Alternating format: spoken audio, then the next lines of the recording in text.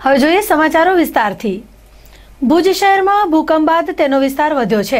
તેમ સુધરાઈને આ વિસ્તારોમાં સફાઈ, પાણી, ગટર વ્યવસ્થા જાળવી રાખવા તેમજ દરેક નાગરિકોને સુવિધા પૂરી પાડવા માટે જહેમત ઉઠાવવી પડે છે. ત્યારે શહેરની વાત કરીએ તો દર મહિને અંદાજે પિસ્તાલીસ લાખ રૂપિયા ખર્ચ કરીને સફાઈ વ્યવસ્થા જાળવતી ભુજ સુધરાઈ. હવે સફાઈ ક્ષેત્રમાં રાષ્ટ્રીય સર્વેક્ષણમાં શ્રેષ્ઠ સ્થાને પહોંચવા માટે કવાયત હાથ ધરી રહી છે. ખાસ કરીને શહેરમાં હાલે અંદાજિત દોઢ લાખની વસ્તી અને બેતાલીસ હજાર જેટલી પ્રોપર્ટીને સફાઈની સુવિધા અને આ વિસ્તારોમાંથી ઘનકચરાના નિકાલ માટે સુધરાઈ હાલે માથાદીઠ બસો પચાસ રૂપિયાનો માસિક ખર્ચ કરી રહી છે. ત્યારે હવે સ્વચ્છ ભારત મિશન અંતર્ગત ભુજ શહેરની પસંદગી બાદ હવે શહેરને વધુ ચોખ્ખું અને ચણક રાખવા માટે કેન્દ્ર સરકારને દરખાસ્ત મોકલી દેવામાં આવેલ છે. જે અંતર્ગત ભુજ શહેરના ભારત સરકાર દ્વારા પર કેપિટલ બારસો રૂપિયા લેખે પ્રોજેક્ટ કોસ્ટને મંજૂર કરવામાં આવેલ છે. જે અનુસંધાને રાજ્યની એકસો બાસઠ જેટલી નગરપાલિકાઓને પાંત્રીસ ટકા ભારત સરકાર, પંચાવન ટકા રાજ્ય સરકાર અને દસ ટકા નગરપાલિકાએ જાતે ફંડ ભંડોળ ફાળવવાનું રહેશે. ભુજ આ માટે દરખાસ્ત રાજ્ય અને કેન્દ્ર સરકારમાં મોકલવા માટેની તમામ તૈયારીઓ પૂર્ણ કરી લીધી છે. ત્યારે આ અંગે ભુજ ચીફ ઓફિસર શ્રી ગોવિંદ ચાંડપાએ ચંચળ ન્યૂઝ સાથે વાત કરીને વિગતો આપી હતી. હાલે સ્વચ્છતા સર્વેક્ષણ બે હજાર સત્તર, જે કામગીરી ભારત સરકારના મહાત્મા ગાંધી સ્વચ્છતા મિશનથી દેશના પાંચસો શહેરોને આવર લીધા છે, જેમાં ગુજરાતમાં આપણે એકત્રીસ શહેરોનો સમાવેશ થયો છે, જેમાં કચ્છમાં ગાંધીધામ અને ભુજ. આ બે શહેરોને અમૃત મિશન શહેર તરીકે જુદી જુદી પાણી પુરવઠાની, ગટર વ્યવસ્થાની યોજના અને સાથે સાથે સફાઈને લગતી યોજના. જેમાં નગરપાલિકા પોતાની પાસે કેવા સાધનો છે કઈ રીતની ટેકનોલોજીથી સફાઈ કરાવવા માટેનું મોનિટરિંગ કરે છે. સાથે સાથે શહેરમાં રોજે રોજ જે કચરાનો નિકાલ કરવા માટેની સેગ્રિગેશનની કેવી વ્યવસ્થા છે? ડમ્પિંગ સાઇટ ઉપર કચરાને કઈ રીતે ડિકમ્પોઝ અથવા તો લેન્ડફિલ સાઇટ ઉપર સાયન્ટિફિક રીતે એનો નિકાલ કરવામાં કઈ રીતે આવે છે? આ દરેક પેરામીટરના જે નિયમને આધીન થયેલા પેરામીટર છે એ તપાસવા માટે રાજ્ય સરકાર તરફથી, કેન્દ્ર સરકારને આધીન સ્વચ્છતા સર્વેક્ષણની સ્થળ ઉપર તપાસ કરવા માટે ટીમ આવે છે. જેમાં રેન્કિંગ ઓફ ધી સિટી જે નવસો માર્ક્સ હોય છે, એમાંથી કેટલા માર્ક્સ મળે છે, જેનામાં આપણે ભુજ શહેર માટે ટેકનોલોજીકલ એટેન્ડન્ટ જે વોર્ડ વાઇઝ સફાઈ કામદારો ડેઇલી પોતાની હાજરી બાયોમેટ્રિક સિસ્ટમથી દરેક વોર્ડ ઓફિસ ઉપર છ જગ્યાએ અમે આ બાયોમેટ્રિક મશીનો મૂકેલા છે. તેના ઉપર હાજરી એની પુરાવવામાં આવે છે. આઉટ ગોઈંગ થાય ત્યારે પણ એની હાજરી લેવામાં આવે છે. સેકન્ડ શિફ્ટમાં બપોર પછી આવે ત્યારે પણ લેવામાં આવે છે. અને સાંજના એ છૂટા થાય છે ત્યારે લેવામાં આવે છે.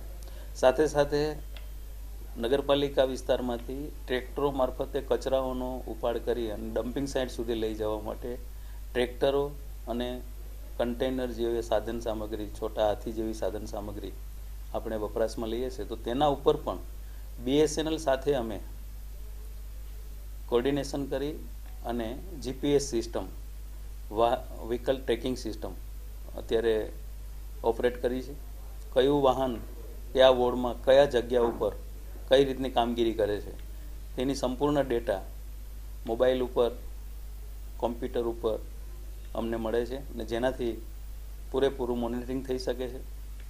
આખા મહિનામાં કેટલા દિવસ ટ્રેક્ટરે, કેટલા કિલોમીટરની એવરેજથી, કેટલા ડીઝલ વપરાશ સાથે ને કેટલા ટન કચરાનો નિકાલ થયો છે, તેની આપણે મોનિટરિંગ કરી અને એક આધુનિક વ્યવસ્થા ઊભી કરી છે.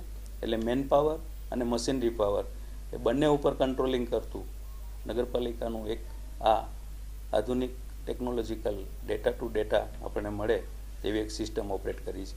એ સ્વચ્છતા સર્વેક્ષણનો એક ભાગ છે. સ્વચ્છતાથી વાત કરીએ આપણે ઘણા બધા મુદ્દાઓ પર પ્રકાશ પાડ્યો. સૌથી પહેલા ભુજ શહેરમાં અત્યારે સફાઈ માટે કેટલા કર્મચારીઓ કેટલા મશીનો કામ કરે છે કેટલું બજેટ છે એના માટે?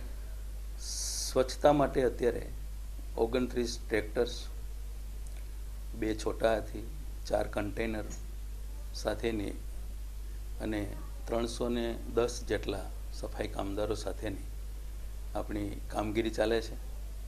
રાઉન્ડ અબાઉટ પર મંથ ઓગણત્રીસથી ત્રીસ લાખ જેટલો મેકમ ખર્ચ થાય છે.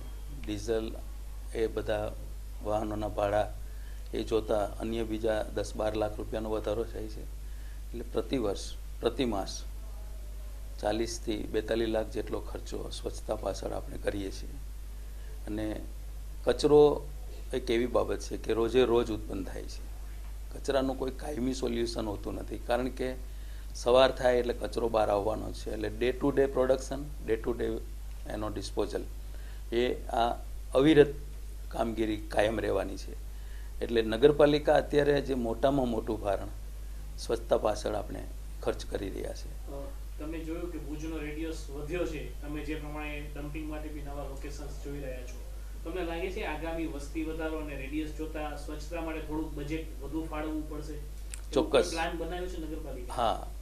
નગરપાલિકા એ પ્લાનિંગ કર્યું છે. સાથે સાથે કેન્દ્ર સરકાર અને રાજ્ય સરકારે પણ નગરપાલિકાને જે આવા શહેરોને સ્વચ્છતા માટે અમુક ગ્રાન્ટ ઉપલબ્ધ કરાવવાની પણ જોગવાઈ કરી છે. આપણે નગરપાલિકાનો એક સંમતિ ઠરાવ પણ આજકાલમાં કરી અને રાજ્ય સરકારને મોકલવાનો છે.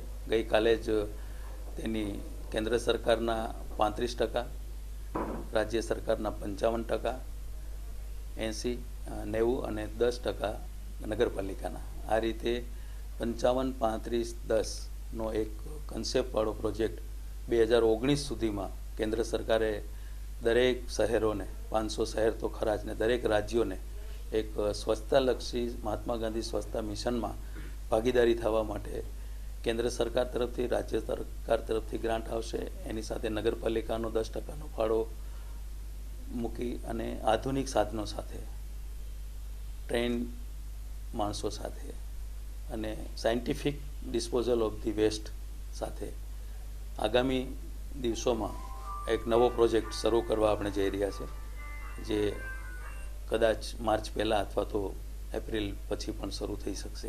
કેટલો મોટો પ્રોજેક્ટ હશે? કેટલી પ્રપોઝલ મૂકી છે સ્વાભાવિક છે કે કચરાના નિકાલ માટેના સાધનો ભાડે રાખવા પડે નગરપાલિકાને તો સરકાર તરફથી ટ્રેક્ટર્સ મળશે ગલી એમટીઆર મળશે સરકાર તરફથી જેસીબી મળશે મોટા સાધનો મળશે, રોડ સ્વીપર મળશે, રોડ બ્રશ મળશે, કન્ટેનર મળશે, કન્ટેનર લિફ્ટર ડિવાઇસીસ મળશે, સાથે સાથે બિન્સ મળશે. પછી પબ્લિક બિન્સ આપણે જ્યાં ડસ્ટબિન તરીકે રાખવા માટેની પણ અહીંયા ગાંધીનગરથી જીઓ ડેમમાંથી ઓફિસર શ્રી પટેલ સાહેબ આવી અને સર્વે પણ કરી ગયા છે અને અમે વધુમાં વધુ સાધનો સરકાર આપશે.